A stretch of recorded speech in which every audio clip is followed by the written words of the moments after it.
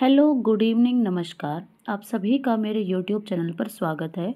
I hope आप सभी अच्छे होंगे। एक्टिव वॉइस, पैसिव वॉइस हमने स्टार्ट किया था। एक क्लास हम इसकी कर चुके हैं। उसमें हमने प्रेजेंट इंडेफिनेट के बारे में पढ़ा था कि कैसे उनको हम चेंज करेंगे। ठीक है? एक्टिव से आप पैसिव के अंदर उनको कैसे चेंज करेंगे? आज हमारी ये सेकेंड क्लास है। इसमें हम प्रेजेंट कॉन्टीन्यूस के बारे में पढ़ेंगे कि इसको हम एक्टिव से पैसिव में कैसे चेंज करेंगे। तो सबसे पहले देखिए रूल देखिए आप प्रेजेंट कॉन्टीन्यूस आपका कैसे होता है? प्रेजेंट कॉन्टीन्यूस का एक्टिव वॉइस क्या होगा आपका? Subject plus is am are plus verb की first form plus I N G plus object ये होता है इसके एक्टिव वॉइस में। और जब हमें इसको चेंज करना है पैसिव में देन क्या होगा? हमारा ऑब्जेक्ट आएगा आगे। Object plus is am are plus being add होएगा इसके अंदर। बीइंग प्लस थर्ड फॉर्म, क्योंकि पैसिव वॉइस में सब में थर्ड फॉर्म आती है और प्लस में ये आपका सब्जेक्ट ओके अब देखिए, कैसे चेंज करने हैं? फ़र्स्ट एग्जांपल है यहाँ पर। The peon is ringing the bell ये आपका सब्जेक्ट है, ये आपकी हेल्पिंग वर्ब है, ये वर्ब है आपकी और ये हमारा ऑब्जेक्ट है, ठीक है? अब ये आगे आ जाएगा। ऑब्जेक्ट आ गया है तो द बेल इज़ ठीक है? इज़ के बाद, क्योंकि बेल आपका क्या है? सिंगुलर है तो आपका इज़ आएगा। इज़ एम आर का आई थिंक आप सबको पता है कि इज़ किसके साथ आएगा? एम किसके साथ आएगा और आर किसके साथ? इज़ आता है हमारा सिंगुलर्स के लिए एम आता है आपका आई के साथ आएगा सिर्फ़, और आर आपका आता है we you they and plurals के साथ, ठीक है? तो यहाँ पर जो द बेल है हमारा, ये क्या है? सिंगुलर है। तो इसलिए यहाँ पर इज़ ही यूज़ होगा हमारा। इज़ अब साथ में लगेगा आपका बीइंग इज़ बींग रिंग की थर्ड फॉर्म होती है रंग। रंग बाय द ये सब्जेक्ट आपका इधर आ जाएगा P N okay the bell जो ऑब्जेक्ट होता है, अब जो हमारी इज़ एम आर है, वो किसके अकॉर्डिंग लगेंगे? इस ऑब्जेक्ट के अकॉर्डिंग लगेंगे। ठीक है? ये ऑब्जेक्ट द बेल एक ही घंटी है तो ये आपकी क्या है? सिंगुलर है तो इट मीन्स यहाँ पर इज़ आया है हमारा। ओके नेक्स्ट है हमारा she is writing a book she is writing a book अब देखिए ए बुक ये आगे आ जाएगा। तो ए बुक क्या है? हमारा सिंगुलर है तो इट मीन्स ई जाएगा साथ में। इज़ बींग राइट की थर्ड फॉर्म क्या होती है? रिटर्न बाय शी को हम चेंज करेंगे हर में। ठीक है? नेक्स्ट आपका है I am not preparing tea I am not preparing tea अब देखिए टी हमारा, ये आगे आ जाएगा। ऑब्जेक्ट है, आगे आ गया। टी हमारा सिंगुलर है तो इज़ अब नॉट वाला अगर है तो नॉट आएगा पहले बींग बाद में आएगा। इज़ नॉट बींग प्रिपेयर की third form prepared by I को हम चेंज करेंगे मी में। Me tea is not being prepared by me ठीक है? नॉट आपका बींग के बाद नहीं आएगा, पहले आएगा। इज़ नॉट बींग ठीक है?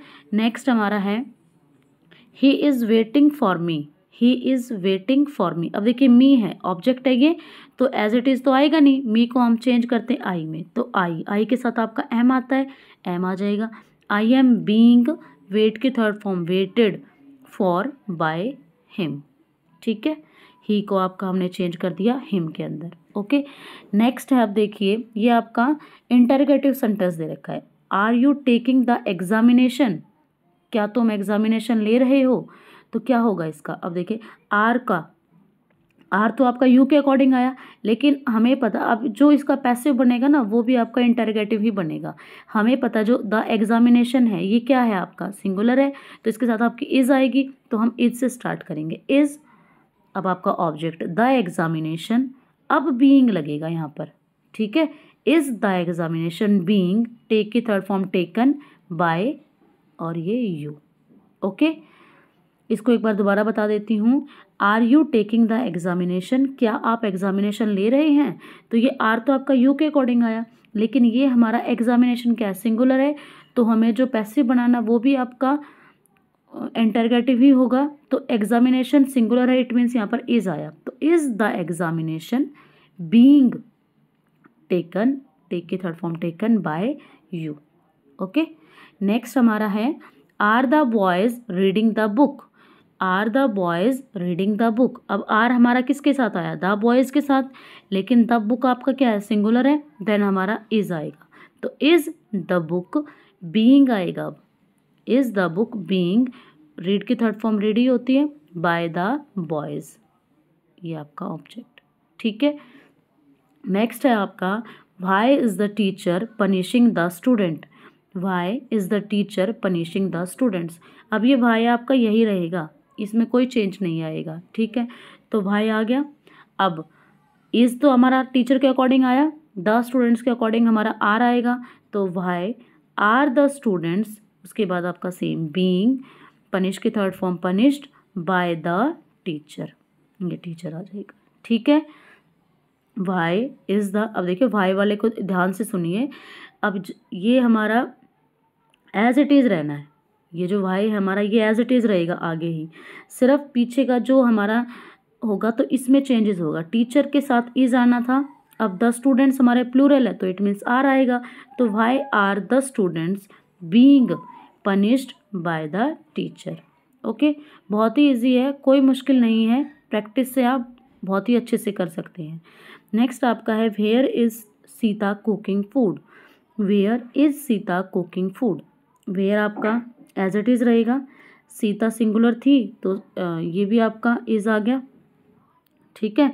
अब फ़ूड भी हमारा सिंगुलर है। Then is food where is food being cooked cook की third form cooked by Sita. ये नाम का फ़र्स्ट लेटर कैपिटल होता है तो सीता। ओके जो डब्ल्यू एच फैमिली के हैं, सिर्फ़ इसमें हम क्या करेंगे? एज इट इज़ लिख देंगे इनको हम। ठीक है? और आगे का हमारा चेंज होगा। ओके नेक्स्ट आपका है are you watering the plants ये और एक है आपका why are you wasting your time ये दो सेंटेंस मैंने आपको दिए हैं। ये आपके लिए होमवर्क है। आपको मुझे करके और कमेंट सेक्शन में भेजना है। देखती हूँ आपको कितना समझ में आया है और कितना नहीं। आई होप आपको समझ में आया है। वीडियो अच्छी लगी है तो please like share and subscribe मिलते हैं नेक्स्ट वीडियो में नेक्स्ट पार्ट के साथ। Thanks for watching and bye